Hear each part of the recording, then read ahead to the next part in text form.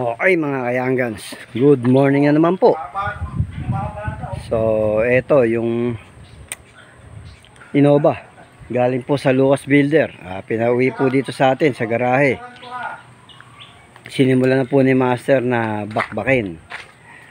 Ayan, ah, gawa po ng may mga tagas na po yung ibabaw ng cylinder head.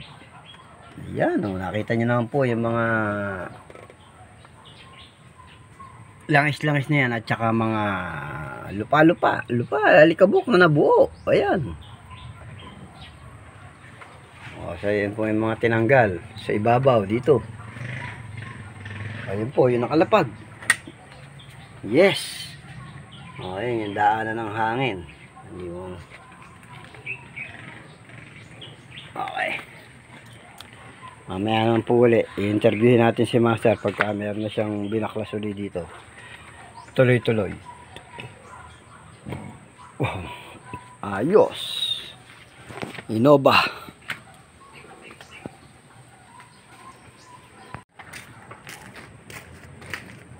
Master. Good morning. Good morning to. Ano nangyari dyan? Ito, magpapalit tayo ng valve cover gasket. Yon. Kaya pala binabaklas ni Master yung mga tornilyo doon sa ibabaw. Ayan, Toyota Innova. Ano yung pangalawa natin ginawa ngayong araw na to. Galing po tayo ng Marikina. Bago po natin siya kuhain, eh, nag-change oil muna tayo. Palit tayo ng valve cover gasket.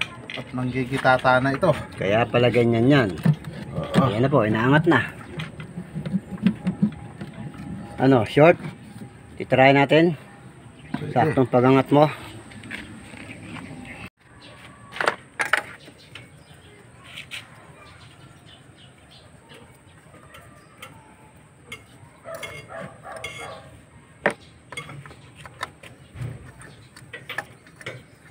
Yung tawag dyan, boss. Ano yun? Yung binabaklas mo. Servo. Servo.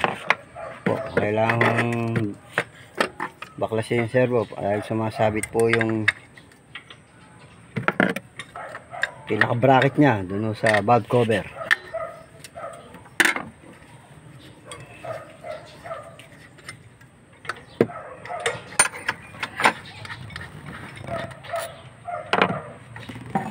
Yun. Ayos na. Okay, oo, let's try again. Wait lang. Yes, mga ayanggan, sayang po. Si Master Albert. Tinira na naman. Tumitira na naman. Ayan. Sinasabi ko sa iyo, bay. Tirahin, tirahin. Hanggat may titirahin.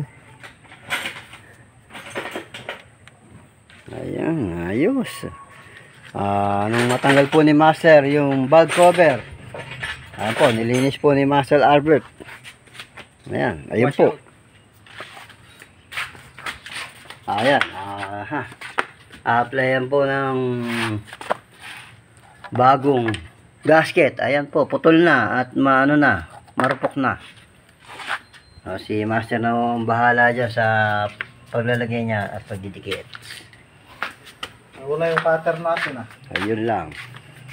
Cutter, yung dilaw. Ayun ah. Nakita ko pa kahapon yun ah. Ah, cutter. Parang nasa nabara yon. Ah, wait lang ha. Nasa nabara nga ba? Yan. Ano na nangyari, master? Ito, nakakabit na natin. So, hindi natin actual na videoan yung paglapat ng bag cover. Ah, gawa po ng may kinuha tayong pyesa sa labas. Ayun na po. Sinet up na ho ni Master. Oh, ano yan? Mangga. oh, yun po. Nangangasing. Si Albert. Dili. Yan. So, may isang pyesa na lang po yung natitira sa baba. At after niyan, na-start na ako ni Master. Ayun, oh. Yan, yan pong may may mga goma na sa magkabilang tabi. Tapos road test. Okay na.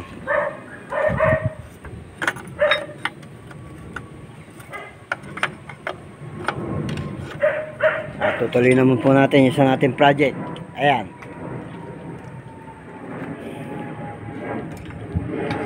Ayos. Mamaya uli ang video pagka nirestart na. Okay. Ayan na. Restart na.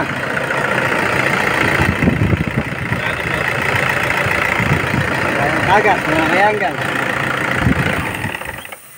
Ito yun, yung kanina na puro tagas. Ayun, Sana yung malinis na po siya. Isa. Yung bago. So, ayan.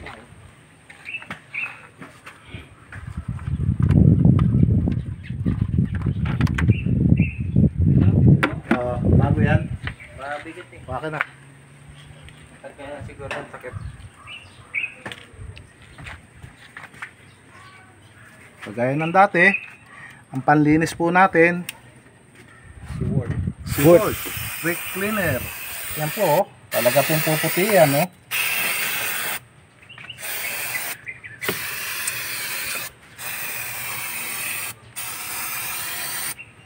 Tanggal, ang mga itim-itim at langis-langis. Huwag naman itim. May tinatama. Anong itim? Yan. Yung wala lang itim. Yan. Narinig nyo mga kayanggas. Bastusan na po dito. Huwag lang daw black. Ayan. Ayos, ayos. Oh, tanggal ang mga grasa-grasa na nakakapit na natuyo. Yun na maganda. Sinasabi ko. Naman itim. Black na lang. Ayan po, si Black. Pusa ho nalalaglag. Ayos.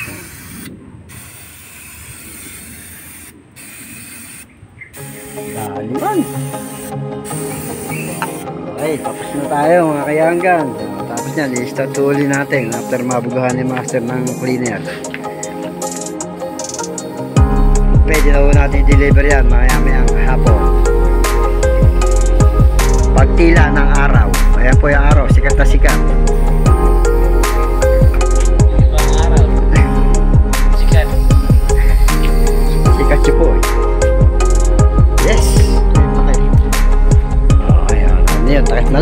Thank you, thank you. At meron na naman tayong nagawa ngayong araw na to.